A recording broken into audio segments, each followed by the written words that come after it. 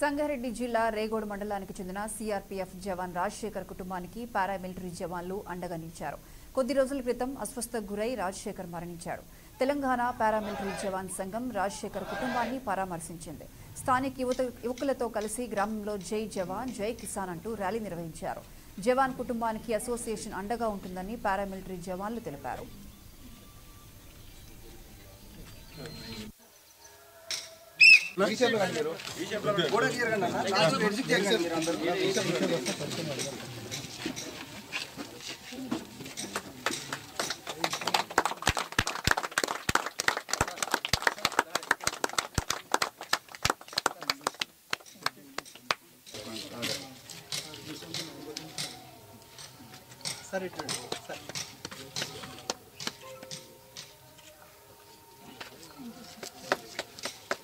పరమపదించిన సందర్భంగా వారి కుమార్తె అంత దుఃఖసాగరంలో ఉండి కూడా మన సంగారెడ్డి హెడ్ క్వార్టర్లో డివైఎస్ఓ గారు జాతీయ స్థాయి క్రీడలు నిర్వహించిన ద అథ్లెటిక్స్లో బంగారు పథకం సాధించడం మన మండలానికి గర్వకారణం.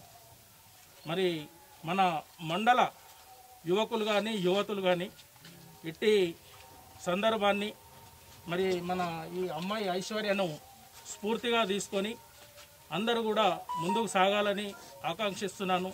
అట్లాగే వారి తండ్రి మరణాన్ని దిగమింగ్ దిగమింగుకొని అట్టి ఆటల పోటీల్లో తాను బంగారు పథకం సాధించడం చాలా గొప్ప విషయం. ఇట్లాంటి ఐశ్వర్యను ఈరోజు మన జిల్లాలకు జిల్లాకు సంబంధించిన పారామిలిటరీ ఫోర్సు పారామిలిటరీ వీర జవాన్లు అందరూ కలిసి ఆమెను సన్మానించడం ఇది చాలా స్ఫూర్తిదాయకం. అందరూ కూడా ఇదే స్ఫూర్తిని కొనసాగించాలని కోరుకుంటున్నాను.